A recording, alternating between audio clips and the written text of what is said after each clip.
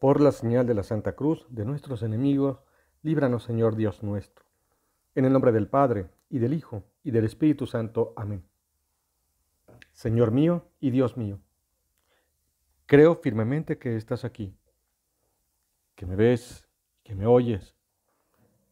Te adoro con profunda reverencia. Te pido perdón de mis pecados y gracia para hacer con fruto este rato de oración. Madre mía Inmaculada, San José, mi Padre y Señor, Ángel de mi guarda, interceded por mí. Hace algunos añitos, poco más de diez, salió una película en el cine que la verdad a mí me gustó mucho, después cuando también fue proyectada en distintas plataformas. Es una película francesa muy simpática, con bastante contenido y profundidad, que se llamaba, se titulaba Amigos. Y esa película trata la relación entre dos personajes totalmente opuestos y además procedentes de entornos diferentes. Uno de ellos, un joven de origen africano llamado Driss, que vivía en un barrio obrero en París con antecedentes penales, de hecho acababa de salir de la cárcel, un hombre pues, joven, descarado, divertido y reflexivo, digamos que le gustaba pues la aventura. Por otro lado, un hombre llamado Philippe, rico, ya mayor, culto, pero estaba tetrapléjico, es decir, había quedado eh, limitado por un accidente y necesitaba un ayudante personal.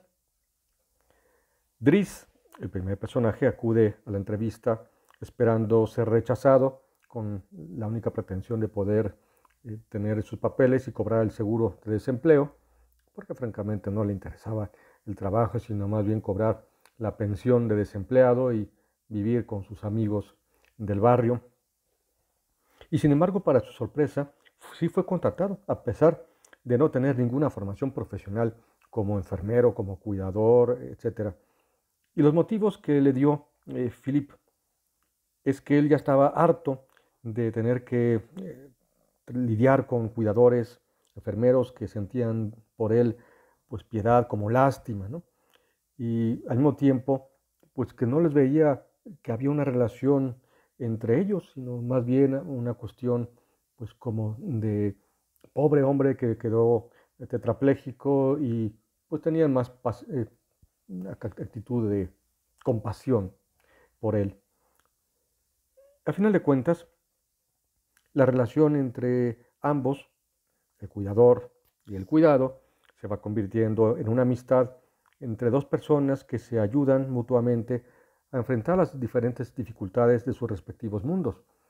Philip ayuda a Driss a ser un hombre preparado, puesto que Felipe es un hombre culto, enseña música, valorar el arte, tiene gran cantidad de obras de arte en su mansión. Y claro, a Driss eso no le importaba, ni mucho menos.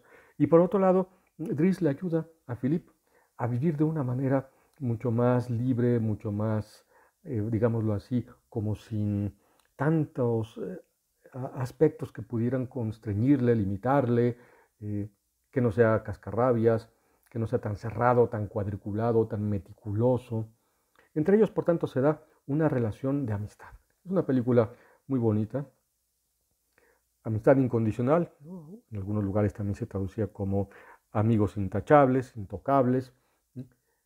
Esta película nos muestra el valor que tiene la amistad.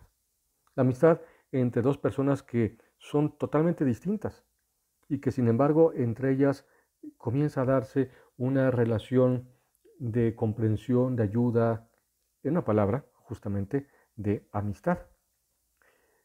Y pensaba en esta historia porque Dios también nos acompaña a través de la cercanía de los demás, la amistad con el prójimo. Una cercanía que se muestra también más allá de la presencia física, porque a Dios no lo podemos tocar, no lo podemos ver, y sin embargo Dios siempre se nos muestra a través de los demás, de ese amor que nos une. Y qué bien lo entendemos cuando no podemos estar físicamente junto a personas a las que queremos, porque nos separa la barrera de la distancia, cuando hay situaciones que nos impiden estar cerca de las personas a quienes queremos. Pero el amor y la amistad superan los límites del espacio, del tiempo, para unir a personas lejanas que se aman de verdad y que se aman en el amor que todo lo une, que tiene un rostro de persona. Ese rostro que es el rostro de Jesús. Decía en una ocasión el Papa San Juan Pablo II que Dios en su intimidad no es soledad, sino familia. Estas palabras preciosas de San Juan Pablo II nos deben animar a entender cómo Dios no es un ser que está en las nubes, en una galaxia perdido, ajeno a nosotros, como ese Dios del que hablaba el famoso y antiguo filósofo Aristóteles, un Dios totalmente ajeno a los hombres. Por el contrario, Dios es para nosotros un Dios presente, cercano, amoroso, un amigo, en una palabra. Dios es nuestro amigo.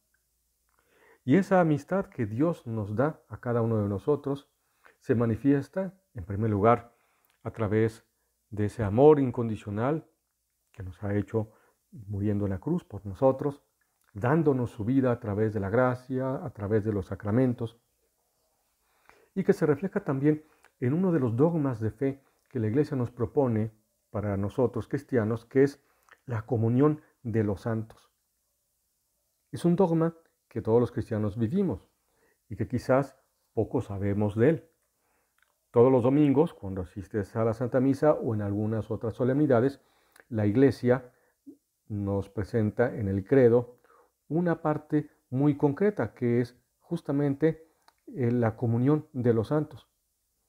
Cuando decimos, creo en la comunión de los santos. Pero ¿qué queremos decir con esta expresión? ¿Qué significa? ¿Qué significa comunión de todos los santos?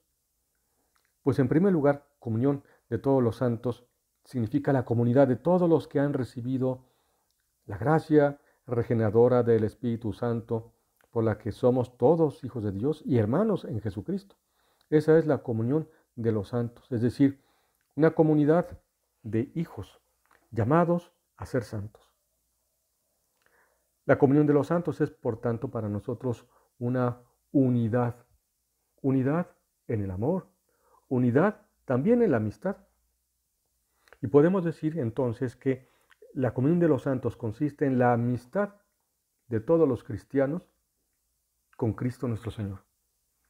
No es una amistad meramente humana, porque seguramente que tendrás a tu mejor amigo, a tu mejor amiga, un grupo de amigos con quienes habitualmente te relacionas, para estar con ellos, para compartir ideales, afanes, para estar con ellos, darles tu cariño, tu comprensión, tu amor y también recibir de ellos. No se trata solamente de esa amistad, digamos así, una amistad de una bolita, de una palomilla. En el caso de la comunión de los santos es una amistad de todos los miembros de la iglesia, todos los bautizados. Es una amistad espiritual. Y esto significa que esta amistad no puede estar limitada solamente a quien me cae bien, quien me es simpático o simpática. Todos debemos fomentar esa amistad. Somos amigos de Dios. Porque Dios se ha hecho amigo de nosotros. Él se ha hecho amigo y lo ha dicho con unas palabras en el Santo Evangelio que te acordarás muy bien. Ya no los llamo siervos, los llamo amigos. Esas palabras que tú, Jesús, le dices a tus discípulos, son palabras que también a nosotros se nos dirigen. Somos amigos de Dios. La amistad entre todos, la comunión de los santos, nos debe llevar, por tanto, a fijarnos metas concretas. Yo, ¿qué tanto colaboro, coopero con los demás cristianos? Me doy cuenta que es importante vivir una fraternidad auténtica, un cariño humano y espiritual. Rezo por aquellos amigos míos a quienes tengo más presentes o quizás que pasan por dificultades, atraviesan por problemas. La amistad no solamente salir a una fiesta, estar juntos en un partido de fútbol, en una actividad, es más profunda porque todos somos amigos de Dios. La auténtica amistad es la de los que somos miembros de la iglesia, viviendo la comunión de los santos. Este mes de noviembre, como sabes, la iglesia celebra de una manera especial a los fieles difuntos, aquellos hermanos nuestros que ya se han marchado al cielo y también a aquellos que están en el purgatorio, que tenemos que rezar por ellos. Ahí está la comunión de los santos, pedir por esos hermanos nuestros. Las almas del purgatorio, a través de nuestras oraciones, a través del ofrecimiento de la Santa Misa y de las indulgencias que la Iglesia nos presenta como esos medios para ayudar a nuestros amigos que están en el purgatorio. San José María Escribá, fundador del Opus Dei, inclusive decía, refiriéndose a las almas del purgatorio, mis buenas amigas, las almas del purgatorio. Vamos a pedir por todos nuestros amigos, especialmente por aquellos que ya nos han abandonado, para que se encuentren con el Señor. Es la mejor manera de mostrar nuestra amistad, la comunión de los santos. Vamos a pedírselo al Señor y acudimos a la Virgen María, nuestra Madre, ella que es Madre de Dios y Madre nuestra, para que nos ayude a ser buenos hermanos todos nosotros y así ser buen, cada uno buenos hijos de Dios. Te doy gracias, Dios mío, por los buenos propósitos, afectos e inspiraciones que me has comunicado en esta meditación. Te pido ayuda para ponerlos por obra. Madre mía Inmaculada, San José, mi Padre y Señor, Ángel mi guarda, interceded por mí.